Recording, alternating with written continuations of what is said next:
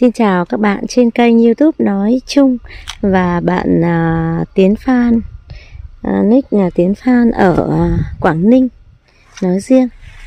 Đây là vườn ngô nếp của mình nhé Và mình đang à, đi ra vườn để à, lấy cây à, lấy ngô bao tử à, để cho bạn Tiến làm à, ngâm rượu nhé Tiến ơi em à, đây là cây vườn ngô nếp mà nếp thơm của nhà chị nhé mà em để ý này khi em uh, mua của chị thì uh, chị đã làm rất là nhiều rồi.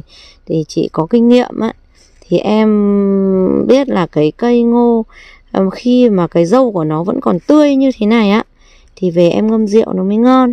Chứ nếu mà ngô mà um, dâu của nó nó nó bị tái nó khô rồi thì em ngâm rượu cũng không ngon là một. Thứ hai nữa là uh, cái đấy loại đấy em ngâm là nó nó, kể cả ăn tươi cũng không ăn được, nó xốp nhé em nhé. Đấy ngô nhà chị đây này, kể cả bắp trên của nó, dâu vẫn còn tươi này. Đấy, chứ không nói đến bắp thứ hai nữa. Bắp thứ hai ngô. Nếu các bạn lấy à, ngô ngâm rượu hoặc là ngô bao tử để ăn, thì các bạn hãy lấy cái loại coi như là dâu nó còn tươi như thế này, thì các bạn bóc ra cái bi của nó nó vẫn còn đặc, nó không bị xốp. Đấy khi ăn thì nó còn giòn. Chứ nếu như các bạn mà lấy mà cái dâu của nó nó đã bị tái rồi chứ chưa cần nói là nó khô nhá thì ngâm rượu lại không ngon. Ăn lại càng không ăn được. Lúc bây giờ trong cái lõi của cái cái cái uh, bi ngô nó đã bị xốp rồi nhá. Đấy, đây là vườn ngô nếp của mình.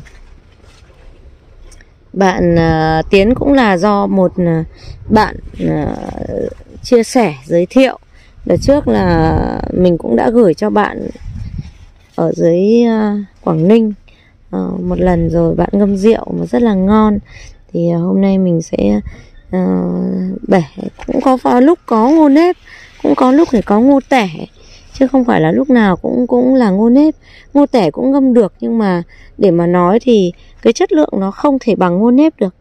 Nó không thơm. Đấy. và đây là mình chỉ trồng có một ờ, là uh, góc ruộng là ngô nếp thôi. Đấy, mình quay cho các bạn xem. Cũng rất là rộng cái ruộng của mình là to. Còn đây là mình trồng cà này. Còn bên kia là trồng bí nè bí ăn rau ăn ngọn đấy các bạn ạ. Đẹp lắm. Mình quay cho các bạn xem vườn của mình. Nắng quá các bạn ạ. Nắng nắng nắng trắng đất ra. Đấy, vườn bí này của mình nhà mình cũng ờ, tưới khổ sở. Nó mới có mới mới sống được như thế này. Gọi là chỉ ờ, chăm cho nó sống.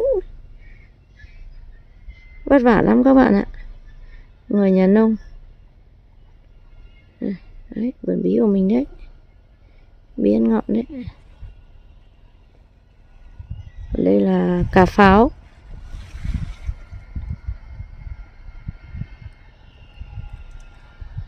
Và bên cạnh kia là ngôn nếp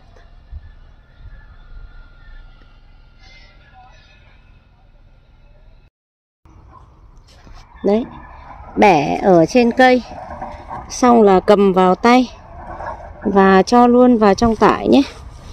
Em yên tâm bạn uh, uh, tiến nhé coi như là uh, dâu ngô nó rất là sạch mà nó khô như thế này á thì em bóc ra là em không cần phải à, rửa nhá. Dâu ngô bóc xong em không cần rửa rồi em để riêng ra một cái à, rổ. Xong rồi cái lõi của nó em được, chứ còn à, dâu ngô này em đừng có rửa, không phải rửa nhá. Ngô nhà chị nó là ngô ngô sạch mà chị bẻ cách mặt đất lên đến nơi thì chắc nó phải rơi vào tầm 1 mét đến 1 mét 2 ở trên cây. Đấy, trên trên trên khỏi mặt đất. Thế mà bẻ xong một cái là chị cho luôn vào tải chứ ờ, không có tiếp đất một tí nào nhá. Vệ sinh an toàn 100% tuyệt đối nhá. Không bị nổi. Đấy nó lẫn cả cái uh, uh, bắp bi của nó thì nó không bị nổi và ngâm nó sẽ ngon hơn. Và khi ờ, để thì các bạn hãy để thật khô đừng có phải rửa nước khi mình làm là mình rất cẩn thận. Mình ờ, bóc xong mình thả luôn vào túi thế là nó không có bị bụi bị bẩn bị làm sao cả. Thế là thế này thì nó khô luôn thì các bạn cứ thế ờ, cho vào bình xong bắt đầu là ờ, đổ rượu vào xong rồi ngâm nha các bạn nhé. Và đây là cái đống ờ, vỏ đống bẹ này. đấy. Chỗ này là hai cân rưỡi bẹ. Thế còn uh, là 10 cân. Tất cả tổng tất cả là 10 cân thì bóc ra bỏ là hai cân rưỡi bẹ còn kia là 7 cân rưỡi nhá thế và mình uh, mai mình sẽ uh, mang gửi lên bưu điện cho bạn ở uh, Quảng Ninh.